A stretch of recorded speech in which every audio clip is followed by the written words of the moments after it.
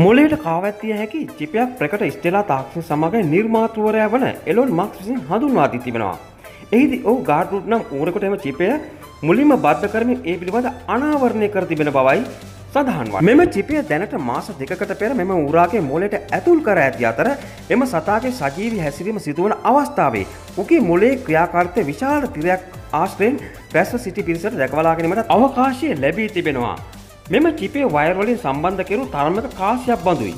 එය මොලයට සම්බන්ධ වූ විට හිස්කබලෙන් ආදේශකයක් ලෙස පවතින බවත් එය මිනිස් හිස්කබලේ සම්බන්ධ කෙරුණොත් පිට්බිට් එකක් වගේයි මාක්ස් සඳහන් කර තිබෙනවා.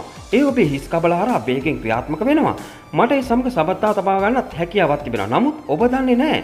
නමුත් මම දන්නවා. යයි ඔහු පවසා තිබෙනවා. එක් මිනිසෙකු යොදා ගැනීමෙන් මෙම චිපේ බලය භාවිතා කරනු දැකීමට බොහෝ දෙනා බලාපොරොත්තු වෙන සිටින බවත් මෙමගින් හැඟවෙන්නේ මිනිස්සු තම සිතේ පරිගණක හෝ ස්මාර්ට් පාලනය කිරීමට ඉඩ ලබා දීමේ මාස්ක්ගේ දර්ශනය බවත් ඔවුන් වැඩතුරත් අනාවරණය කර තිබෙන බවයි සඳහන් වන්නේ මේ සඳහා ඌරෙක් විදාගෙන ඇත්තේ ඌරන් මිනිසුන්ට බොහෝසේ සමාන නිසායයි මක්ස් සඳහන් කර තිබෙනවා.